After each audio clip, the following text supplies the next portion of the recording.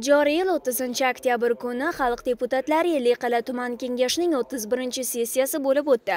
Sessiyani Xalq deputatlari Ellikqal'a tuman kengashi raisi Ellikqal'a tumani hokimi Seydamas seydalimovich Avezov ochib berdi va boshqarib bordi. Sessiya ishida Qoraqalpog'iston Respublikasi Jo'qarg'i kengashi deputatlari, sektor rahbarlari, tuman hokimining o'rinbosarlari, tumandagi korxona, tashkilotlar rahbarlari hamda ommaviy axborot vositalari vakillari qatnashdilar. Dastlab sessiya ishtirokchilari tuman kengashi raisi raisi tuman hokimi birinchi sektor rahbari Seydamat Seydalimich Avezovning O'zbekiston Respublikasi Prezidentining 2021 yil 9 avgustdagi bola huquqlarining kafolatlarini ta'minlash tizimini yanada takomillashtirish chora-tadbirlari to'g'risidagi farmoni talablari yuzasidan Ellikqal'a tumani bolalar masalalari bo'yicha komissiyasi tomonidan 2021 yil 9 oyi davomida olib borilgan ishlar bo'yicha axborot hamda hududlarni kompleks ijtimoiy iqtisodiy rivojlantirish bo'yicha sektorlar Ular faoliyatini yanada takomillashtirishga doir qo'shimcha chora-tadbirlar to'g'risidagi qaror ijrosi yuzasidan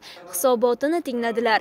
Sessiyada sektor rahbarlarining biriktirilgan sektorlar hududlarni kompleks ijtimoiy-iqtisodiy rivojlantirish bo'yicha sektorlar faoliyati to'g'risidagi hisobotini tingladilar. Sessiya ishida tumandagi huquq targ'ibot idoralarining tumanda 2021 yilning 9 oyi davomida qonuniylikni mustahkamlash, jinoyatchilik hamda huquqbuzarliklarning oldini olish, huquqbuzarlik huquqbuzarliklar profilaktikasi va jinoyatchilikka qarshi kurashish borasida amalga oshirilgan ishlar qonunchilikni mustahkamlash va odil sudlovni amalga oshirish borasidagi amalga oshirilgan ishlar yuzasidan axborot ham tinglandi. Shuningdek deputatlar mahalliy byudjet daromadlarini bajarilish holati qo'shimcha rezervlarni aniqlash bo'yicha qilingan ishlar shuningdek soliqlar va boshqa majburiy to'lovlar kesimida mahalliy byudjetga hisoblangan va amalda to'langanligi ular bo'yicha soliq qarzdor qarzdorligini kamaytirish o'zbekiston respublikasi prezidentining ellikqal'a tumanidagi xalq qabulxonasi tomonidan 2021 yil 9 oyi davomida amalga oshirilgan ishlar.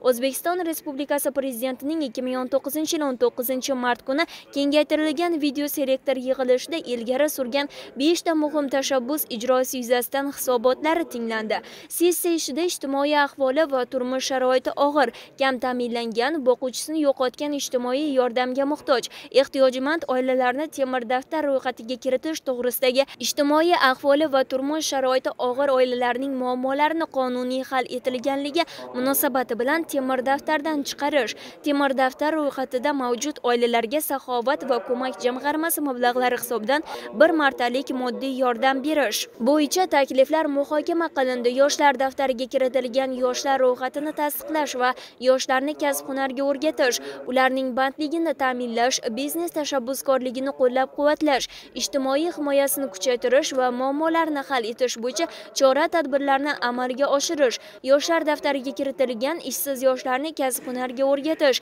doimiy ishga joylashtirish va biznes tashabbuskorligini qo'llab-quvvatlash orqali bandligi ta'minlanganligi uchun ularni yoshlar daftari ro'yxatidan chiqarish va unga o'zgartirish kiritish yuzasidan takliflarni berdi.